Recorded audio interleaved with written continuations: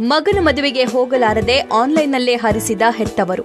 Corona virus ಭೀತಿ ಹಾಗೂ lockdown ಪರಿಣಾಮ ಶುಭ ಸಮಾರಂಭಗಳಿಗೆ ಹೆಚ್ಚು ಜನ ಸೇರುವಂತಿಲ್ಲ ಅಂತ ಸರ್ಕಾರ ಆದೇಶ ನೀಡಿದೆ. ಅಲ್ಲದೆ ಹೊರ ಜಿಲ್ಲೆಗಳಿಗೂ ಬಸ್ ಸಂಚಾರ ಸ್ಥಗಿತಗೊಂಡಿದೆ. ಹೀಗಾಗಿಯೇ ಹೆತ್ತ ಮಗನ ಮದುವೆಗೂ ಪೋಷಕರು ಹೋಗದಂತಹ ಸ್ಥಿತಿ ನಿರ್ಮಾಣವಾಗಿದೆ. ಆನ್ಲೈನ್ನಲ್ಲಿಯೇ ಮಗನ ಮದುವೆಯನ್ನ ವೀಕ್ಷಿಸಿ ಹೆತ್ತವರು ಆಶೀರ್ವಾದ ಮಾಡಿರುವ ಘಟನೆ ಶಿವಮೊಗ್ಗದಲ್ಲಿ ನಡೆದಿದೆ. ಈ ಬಗ್ಗೆ ಒಂದು ಸ್ಟೋರಿ ಇಲ್ಲಿದೆ. ಕೊರೋನಾ ವೈರಸ್ ಅನ್ನೋ ಹೆಸರು ಕೇಳಿದ್ರೆ ಭಯ ಪಡುವಂತ ಸ್ಥಿತಿ ನಿರ್ಮಾಣವಾಗಿದೆ. ಅದರಲ್ಲೂ ದೇಶದಲ್ಲಿ ಹಾಗೂ ರಾಜ್ಯದಲ್ಲಿ ದಿನೇ ದಿನೇ ಸೋಂಕಿತರ ಸಂಖ್ಯೆ ಹೆಚ್ಚಾಗ್ತಾ ಇದೆ.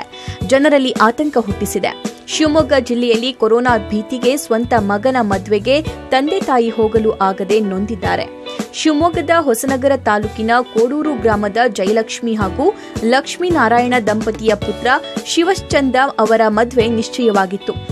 ಬೆಂಗಳೂರಿನ ಶೈಲಜಾ ಹಾಗೂ ಚಂದ್ರಶೇಖರ್ ದಂಪತಿ ಪುತ್ರಿ ಕಾವ್ಯ ಅವರ ಜೊತೆ ಶಿವಚಂದ್ರ ಮದುವೆ ಬುಧವಾರ ಬೆಂಗಳೂರಲ್ಲಿ ನಡೆಯಿತು.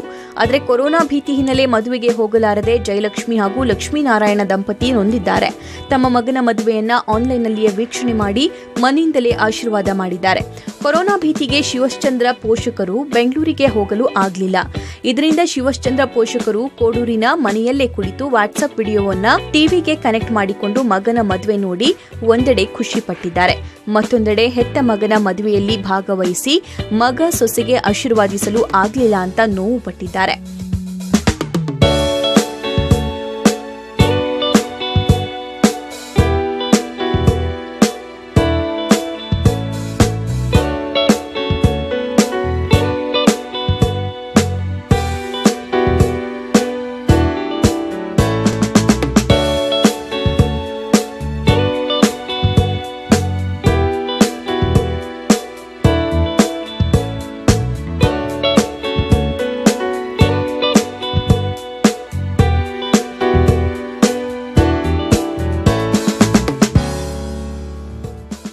ಈ ಹಿಂದೆ ಕೊರೋನಾ ವೈರಸ್ ಲಾಕ್ಡೌನ್ ಕಾರಣಕ್ಕೆ ಮದುವೆ ಮಾಡಿಕೊಳ್ಳಲು ವರನ ಊರಿಗೆ ಬಂದ ವಧು ಹಾಗೂ ಆಕೆಯ ಸಂಬಂಧಿಕರು ವರನ ಮನೆಯಲ್ಲೇ ಒಂದೂವರೆ ತಿಂಗಳ ಕಾಲ ಕ್ವಾರಂಟೈನ್ಗೆ ಒಳಗಾಗಿ ಮದುವೆಯಾಗಿದ್ರು ಈ ವಿಚಿತ್ರ ಸನ್ನಿವೇಶಕ್ಕೆ ಕೇರಳ ಸಾಕ್ಷಿಯಾಗಿತ್ತು.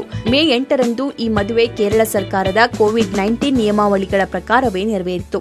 ಕುಂಡುಪರಂಬ ಉಜ್ವಲ ಕೃಷ್ಣ ನಿವಾಸದ ರಾಜನ್ ಪುತ್ತನಪುರ, ಅನಿತಾ ರಾಜನ್ ಎಂಬುವರ ಪುತ್ರ ಉಜ್ವಲ್ ರಾಜ್ ಹಾಗೂ ಮುಂಬೈ ನಿವಾಸಿ ಹೇತಲ್ ಮೋದಿ ವಿವಾಹ ಶುಕ್ರವಾರ ಸರಳವಾಗಿ ನಡೆದಿತ್ತು.